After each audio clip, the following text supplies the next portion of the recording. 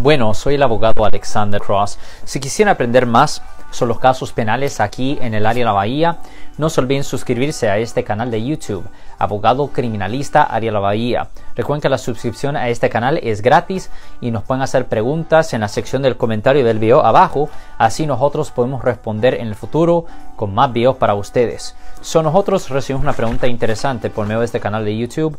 Esto tiene que ver con reincidencia de violencia doméstica. A ver, abogado. Hace seis años fui acusado de violencia doméstica por mi expareja. Cambié mi vida pero hoy me vuelven a arrestar por golpear a mi nueva pareja. Well, ok, pues aquí dice que usted fue acusado previamente por violencia doméstica seis años atrás. Ok, so yo necesito saber si usted fue encontrado culpable por haber cometido la falta seis años atrás. La razón es porque si usted sí fue encontrado culpable o si usted se declaró culpable por haberle pegado a su expareja, eso va a ser un antecedente penal. Y eso es algo que la fiscalía va a poder usar como evidencia contra usted en su nuevo caso. Ellos siempre usan cualquier caso que tiene menos de 10 años como evidencia para enseñar que usted tiene una propensidad para cometer actos violentos como violencia doméstica. Ahora, también tenemos que definir violencia doméstica, porque a veces hay personas que me dicen que son inocentes por violencia doméstica y cuando en realidad es no. Recuerden, no es necesario pegarle a la pareja, no es necesario pegar cargos de violencia doméstica.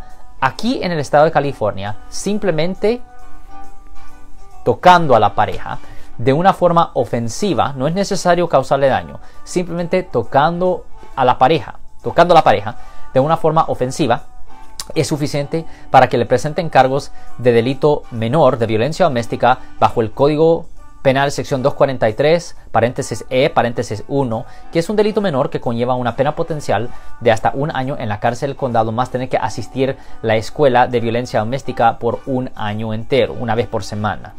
Ahora, en este caso es súper importante guardar silencio, nunca hablar con la policía para nada, porque cualquier cosa que usted haga o diga va a ser usado contra usted en la corte.